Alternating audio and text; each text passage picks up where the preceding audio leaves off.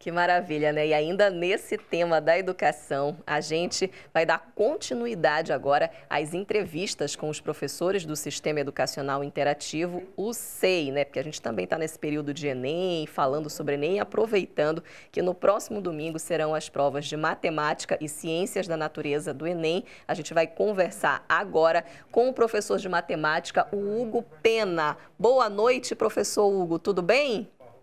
Boa noite, Ana Paula, tudo bem? Boa noite aí a todos os telespectadores do Jornal da Cultura, certo? E vim aqui compartilhar um pouquinho aí é, o, com o pessoal que vai fazer a prova do Enem, né? Já passaram da primeira prova agora que foi domingo, parte de ciências humanas e linguagem, e domingo agora, né? Próximo domingo, a gente vai estar fazendo a prova de matemática e natureza. Então, falando aí diretamente para quem vai fazer a prova de matemática, para quem vai fazer essa prova domingo, primeira coisa, gente, vamos acabar com esse medo da prova. É muito comum que os alunos é, cheguem para fazer a prova de matemática com receio, porque é considerada uma matéria mais difícil, uma matéria mais complicada. Entenda o seguinte, tá, gente? Na prova de matemática do Enem, assim como nas outras áreas do conhecimento, tu vai ter questões fáceis, médias e difíceis. Ocorrem todas tá certo? Em particular, dentro das 45 questões de matemática, tu vai ter aí umas 10, 12 questões que são consideradas fáceis. Então, tenha muita calma e procure logo por essas questões.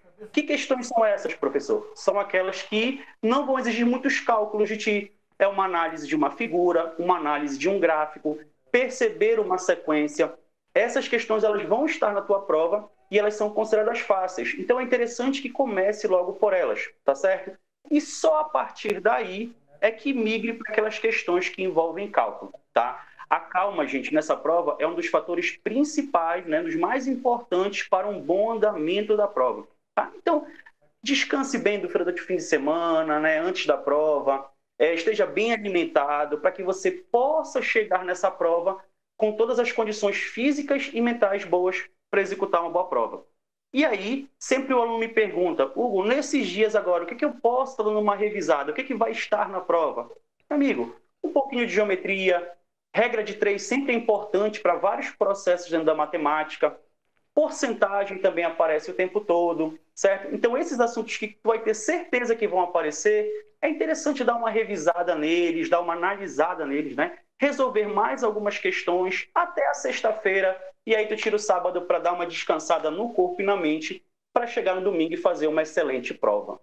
Agora, professor, o senhor falou em relação à prova de matemática que é mais, é, é, mais assertivo começar pelas questões que a gente considera mais fácil. Só que se a gente olhar de uma maneira geral para a prova, o que, que o senhor acha melhor? Fazer a prova de matemática antes, começar pelas questões de matemática antes das outras matérias, o cérebro está mais fresco ou não? Como é que a gente, como é que a gente faz essa estratégia na hora, na hora de resolver a prova? Bom, isso aí, vou, a mesma orientação que eu passo para todos os alunos. Comece por onde você se sente mais à vontade. Essa prova agora de domingo, ela vai ter matemática e ciências da natureza, química, física e biologia.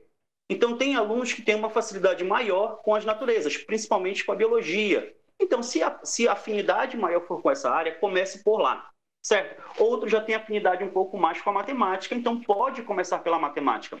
O que é importante, tá, Ana Paula, e para todo mundo que está acompanhando, é o seguinte: é que o aluno não fique na, somente naquilo que ele gosta. Ou seja, ah, eu gosto só de matemática, mas depois de fazer a, a leitura das 45 questões de matemática, passe para a natureza também. Faça logo a leitura, porque é muito comum que o aluno concentre naquilo que ele gosta e deixe pouco tempo para aquilo que ele não gosta. E a prova do Enem, gente, ela é um todo, ela é um conjunto de todas as áreas do conhecimento. Então, se você foca apenas em uma e cai em outras, infelizmente você não vai conseguir o resultado. Algo, eu não suporto matemática, matemática nunca foi meu forte. Volto a te falar, vão ter questões extremamente simples.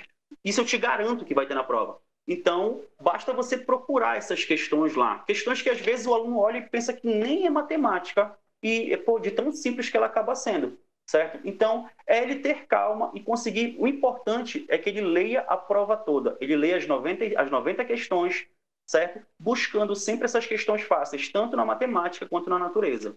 Tá certo, professor Hugo. Agradeço a sua participação aqui. Muito obrigada pelas informações. Até a próxima. Tá, agradeço também o convite. Até uma próxima vez. Tá certo.